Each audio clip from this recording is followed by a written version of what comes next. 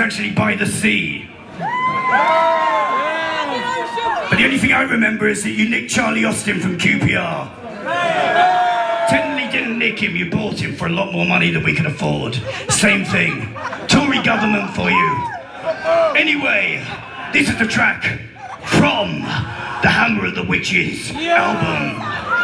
It's dedicated to these people down the front. Let's see some fucking action going. This is entitled Blackest. Magick